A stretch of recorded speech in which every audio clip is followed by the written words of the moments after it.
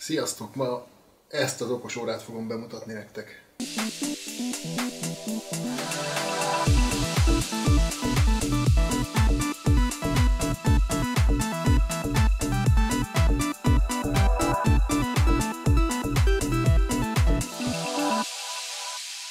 Mielőtt az óra bemutatójába belevágnánk, egy dolgot mindenképpen tisztáznunk kell, hogy igazából miről is beszélünk itt, egy okos óráról vagy egy okos karkötőről. Ha ránézünk, egyértelműen egy okos óra. De ha a tudását nézzük, inkább okos karkötő. Egy-két évvel ezelőtt erre a kérdésre a válasz nagyon egyszerű lett volna, ez egy okos óra. Úgy néz ki, mint egy óra, azt tudja, mint egy okos óra, de ez nem kérdés. Manapság viszont azért ez nem ennyire egyszerű, hiszen az okos karkötők tudása immár eléri azt a szintet, amit ez az óra tud. De akkor mégis, hogy különböztessük meg az órát a karkötőtől? Lehet esetleg az operációs rendszer alapján, hiszen a legtöbb órában Android fut. Létezik a Google Wear, ami ugye egy kimondottan hordható okos eszközökre optimalizált Android. Létezik például az Amazfit óráknak az Androidja, ami egy erősen lebutított Android, és léteznek azok a okosórák, amiken teljes, teljes értékű operációs rendszer, teljes értékű Android fut. Ez utóbbi órákról azt kell tudni, hogy a hardware nem is inkább órára, mint inkább egy telefonra hasonlít. Nagyon sok esetben találkozhatunk 2 vagy 3 GB memóriával, 16 meg 32 GB háttértárral, és a processzorok is bizony négy magosak ezekben az órákban. Oké, okay, de miért jó ez? A válasz egyszerű igazából. Ezek az órák, amiken teljes értékű Android fut, ezek lényegében egy telefonnal vetekedő hardware tartalmaznak, lehet beléjük SIM-kártyát tenni, sőt, lényegében a Google Play áruházból bármilyen programot rátelepíthetünk. Nem mintha akarnánk programokat telepítgetni, mert igazából sok értelme, lássuk be, nincs. A kis kijelzőn játszani nem lehet, a térképet nagyon nehéz rajta kezelni, úgyhogy igazából nem sok értelmét látom annak, hogy programokat telepítgessünk. Ott van ugyanakkor a Google Wear, ami ugye egy órákra optimalizált rendszer, Ennél is lehet telepíteni szoftvereket, bár őszintén megmondom, ennek sem sok értelmét látom, hiszen az órák általában minden olyan szoftvert tartalmaznak, ami a normális működéshez és a mindennapi használathoz szükséges. Ott van az óráknak a harmadik csoportja, ami ugyanúgy Android fut, viszont egy lebutított verzió, olyan, mint például a Xiaomi Amazfit széria. És akkor melyik csoportba tartozik ez az óra? Igazából egyikbe sem. Cospet Probe órán ugyanis egy teljesen egyedi operációs rendszer találunk, amit kimondottan erre az órára szabtak. Erre nem lehet telepíteni, nem lehet programokat letölteni, nagyon kevés memória és nagyon kevés háttértár található ebben az órában, magyarán eléggé korlátozottak a lehetőségeink. De valóban korlátozottak? Tulajdonképpen nem, hiszen az órán rengeteg olyan szoftver található, ami a mindennapi használathoz szükséges támogat 16 fajta sportot, a telefonunkon keresztül használhatunk hozzá GPS-t, kijelzi az üzeneteinket, a bejövő hívásainkat, el is lehet utasítani a bejövő hívást, tud szívmonitort, alvásmonitort, és ami nagyon érdekes, hogy a véroxigén szint és a pulzus számmérés mellett még vérnyomásmérést is. Erre az órára tehát teljesen felesleges programokat letölteni és telepíteni. Térjünk vissza akkor ahhoz a kérdéshez, hogy ez most egy óra vagy egy karkötő. Én azt mondom nektek, hogy maradjunk az óránál. Igazából egy mai okos karkötő pont annyit fog tudni, mint ez az óra, de ennek mégis csak óra formája van, amíg az okos karkötőknek pedig okos karkötő formájuk. A Cospit Probe egyébként az utóbbi idők egyik legkellemesebb meglepetése volt számomra. Ez egy kimondottan olcsó okos óra, ennek ellenére nagyon sokat tud, ahogy az előbb is említettem, elkezdtem felsorolni a rengeteg tudásból egy morzsányit, és a nagy tudás mellett kimondottan jól néz ki. Ha megnézzük a gyári videót,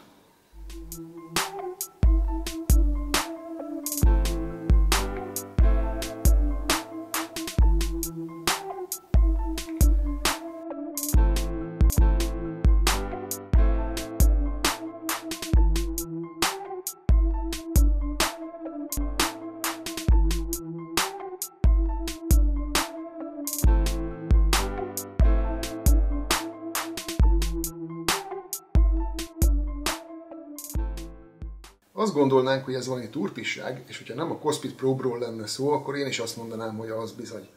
Általában ezek a gyári videók, renderelt videók, ami azt jelenti, hogy nem a valós termék, az óra lesz rajta, hanem valamiféle számítógéppel megrajzolt termék. Ugye, hogy jól néz ki? És tudjátok mit? Ez élőben is ugyanilyen jól néz ki. A gyári videóknál megszokhattuk, hogy számítógéppel vannak generálva, és emiatt aztán nagyon idilli képet mutatnak a termékről, ami aztán, ha megérkezik hozzánk, akkor rájövünk, hogy köszönő viszonyban nincs azzal, amit a képeken látunk. Egészen másképp néz ki a külső, sokkal gagyibb az anyag, sokkal halványabb a kijelző, lényegében teljesen mást kapunk, mint amit megvásároltunk. A Cospit Probe-nál viszont ez abszolút nem így van. Nézzétek csak!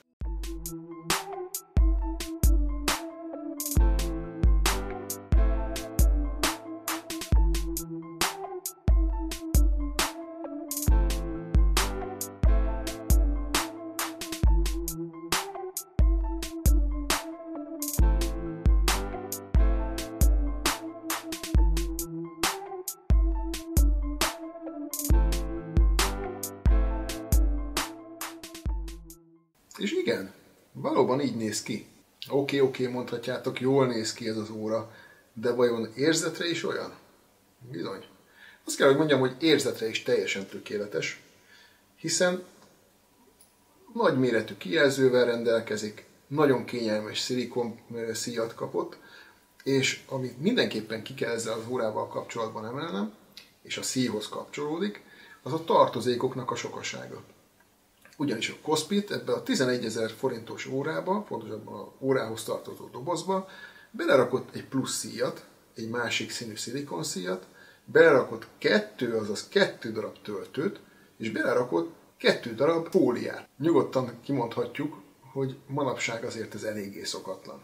Sőt, nagyon szokatlan megszokhattuk, hogy a gyártók minimális csomagokat raknak össze, minimális mennyiségű tartozékot raknak a termékek mellé, hogy ezzel is spóroljanak. A jó kérdés a Cospitnél, hogy fért bele ebbe az árba ez a rengeteg kiegészítő, és hogy fért bele maga az óra? Végül is a válasz nem túl bonyolult.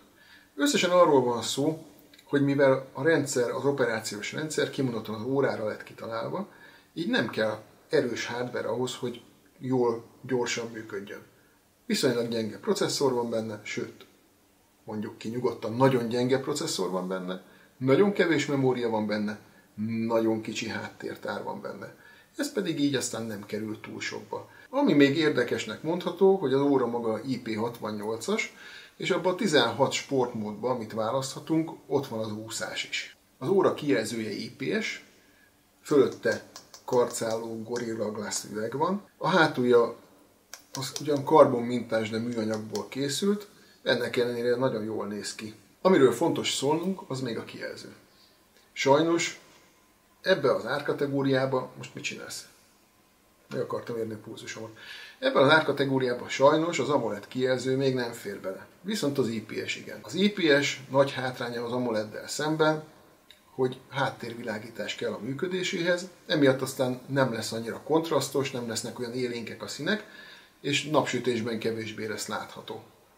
Ha belegondolunk abba, hogy pár évvel ezelőtt még nem is létezett AMOLED csak a csúcs kategóriában, és az összes megfizethető okosóra mind IPS-sel volt szerelve, és örültünk, mint majom a farkának, hogy ilyen jó kijelzőt kaptunk, akkor azért nem kell nagyon elkeseredni. Szóval ez, az, ez a kijelző, ez tény és való, hogy tűző napsütésben már nem mutat túl sokat, viszont minden más esetben teljesen használható.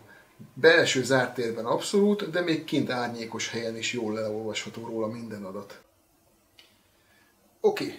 a hardware-en túljutottunk, lássuk, mit tud az óra. Megpróbálok minden szépen sorba venni, de tuti ki fog maradni valami, úgyhogy a szokásos helyen, itt a videó alatt megtaláljátok az írott cikkre mutató linket, kattintsatok majd rá, és olvassátok el ezt is, és abban benne lesz minden. De azért megpróbálom sorba venni, aztán majd meglátjuk, hogy hogy sikerül. Tehát az órának cserélhető a számlapja természetesen, van gyárők telepítve három, további négyet le lehet tölteni, ezek között van mutatós, tehát analóg, meg van digitális, tehát ilyen számokkal operáló. Van hívás kijelzés, hívás elutasítás. Üzenetek kijelzése, amiben természetesen beletartozik az összes üzenetküldő program, meg a bejövő e-maileknek a kijelzése. Ezen kívül véroxigén, pulzusmérés, alvásmonitorozás és vérnyomásmérés. Aztán ezen kívül van figyelmeztetés, hogyha túl sokat ültünk, hogy most már álljunk föl. Van figyelmeztetés a folyadékbevitelre, ezt be tudjuk állítani, hogy mennyi időnként szóljon, hogy most már ígyunk egy kis vizet. Lehet változtatni a kijelzőnek a fényerejét. Óha, nem jut eszembe több. Tudom, hogy még van, de most meggyilkoltok, se tudom. Olvassátok el a cikket inkább, úgy sokkal jobb lesz. A lényeg az, hogy nagyon-nagyon sok mindent tud az óra, és ahogy az elején említettem, pont ezért teljesen fölösleges azon gondolkozni, hogy kell-e nekünk erre az órára telepíteni bármilyen programot, nem kell. Hát igazából okosóraként is tökéletesen működik a rátelepített programokkal, és fitness trackerként is teljesen jól működik a rátelepített programokkal, és teljesen gyors, és szökkenőmentes, és minden, bla bla bla. Szóval tökéletes. Na. Amiről nem szóltunk még, az a használat. Szóltunk, királyi többes. Szóval amiről nem szóltam még, az a használata az órának. Kezdjük ott, hogy hogy is kell telepíteni. eFit nevű alkalmazást kell letölteni a Google Play áruházból. Ez az alkalmazás lesz az, ami az órát kezelni fogja, illetve ezen keresztül be lehet állítani mindent, az alkalmazáson keresztül el lehet indítani a különböző méréseket, mint a véroxigén, púzus, stb. stb. stb. Ezeket minden lehet indítani, természetesen ezeket a mért értékeket ez a program naplózza is. Ezen kívül ki lehet választani a sportmódot is, ahogy mondtam, összesen 16 féle sportot támogat ez az óra. Ebből 15-öt lehet valamilyen oknál fogva a telefonról kiválasztani, az úszást meg csak az órán keresztül, de mégis mindegy, a lényeg, hogy működik. Magában az órában, ugye, mivel ez egy olcsó darab, GPS nincs, a GPS esetén, hogyha szükség van rá, akkor a telefonét használja. Ez sajnos azzal jár, hogy a telefont magunkkal kell vinni sportolni is, ha nem tetszik, akkor vegyünk drágább órát, és megvan oldva a probléma. Ha már a sport, meg az óra, meg a telefon, akkor elfeledkeztem róla, hogy van még két funkció, de most eszembe jutott. A zenelejátszónak a távirányítása, tehát ugye a telefonon futó zenelejátszót lehet irányítani róla, illetve lehet irányítani a fényképezőgépet. Magyarán ugye távirányítóként működik, hogyha messzebb vagyunk, csoportképet akarunk csinálni, akkor az óránkon keresztül el tudjuk sütni térjünk vissza a használatra. Letöltjük ezt a szoftvert, föltelepítjük, és aztán hozzáadjuk az órát. Ezt majd itt látni is fogjátok videóba, hogy igazából ez valami egészen pofon egyszerű. Én ehhez nem vagyok hozzászokva.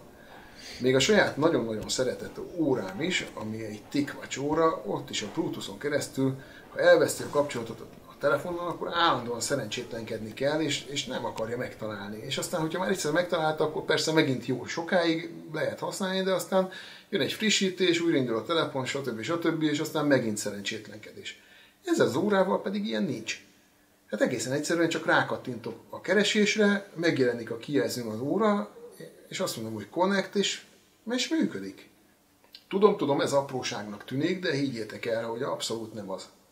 Aki használt már okosórát, az biztos, hogy észrevette, hogy azért, azért szoktak erősen problémák lenni ezekkel az okosórákkal, meg a hozzáadott szoftverekkel. Egyéb iránt az órához adott szoftver nekem kimondottan tetszik, de hát majd meglátjátok ti is. Tök jó átlátható. Egyetlen egy problémája van, hogy magyarul nem tud, de rengeteg kis piktogram segít minket abban, hogy eligazodjunk benne, tehát hogyha véletlenül te nem tudsz angolul, akkor is azt gondolom, hogy gyorsan át fogod látni az egész rendszert, és kezelni tudod majd, és, és, és tök jó. És milyen ezt az órát hordani?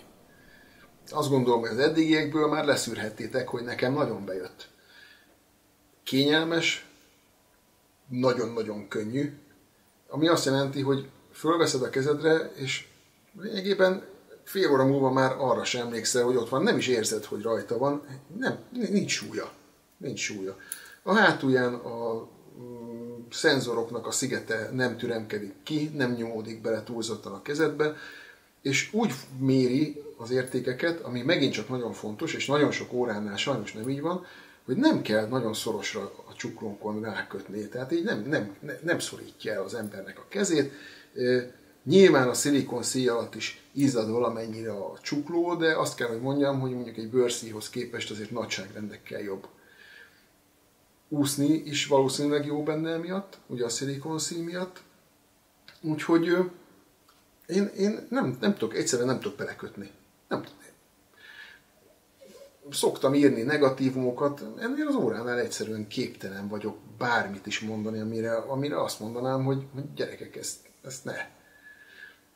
Ritka az az eset, amikor ennyi, ennyi, tényleg nem tudok mást, csak, csak ömlengeni, és, és csak jó dolgokat mondani.